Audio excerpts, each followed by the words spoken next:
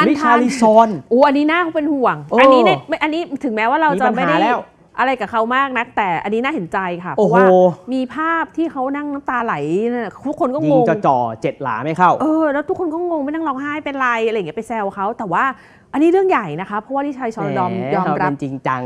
เราเป็นคตนอนดี แขวะเขาเนี่ย เราไม่ซ้ำเติม แทบจะเป็นเปรูข่าวเมื่อวานเลย ก็ทุกวันนี้แหม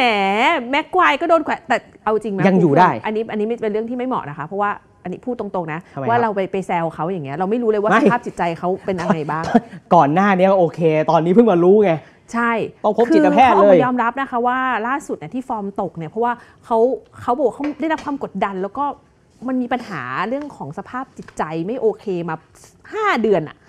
มาเป็นระยะเวลาประมาณหนึ่งแล้วอะใช่ใช่น่าจะดูนานกว่าคืนั้อนนะคือแล้วเขาก็บอกว่าตอนเนี้ยแบบก่อนหน้านี้มันเป็นช่วงเวลาที่สับสนมาก ซึ่งตอนเนี้ยสิ่งต่างๆอะเริ่มลงตัวละนะครับก็แน่ใจว่าจะกลับมาทำผลงานได้ดีกับทางด้านของทอนแนมฮอสเปอร์อีกครั้งอืมเดี๋ยวจากเนี้ยเขาจะกลับไปอังกฤษขอความช่วยเหลือกับทางด้านของจิตแพทย์นักจิตวิทยา เพื่อให้สภาพจิตใจกลับมาแข็งแกร่งยิ่งขึ้นนะคะ คือก็มองว่าเอาจริงๆทางสโมสรเนี่ยส่วนใหญ่เขาจะมีเอิ่ม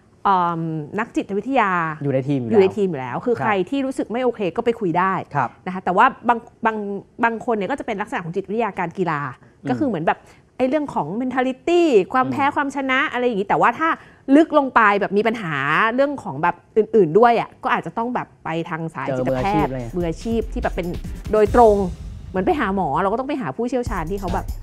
ตรงกับโลกเนาะประพลิมากณล็อกนั้นผมว่าพอตอนแรกมาคิดว่าสเปอร์น่าจะดูแบบหมูหมูๆไงอ่าโอ้โหเจอเจอคช่วามวงนั้นกดดัซอนนเยเยอะมินแฮร์รี่เคนใช่แย่งตำแหน่งไม่ได้นะเครียดเลย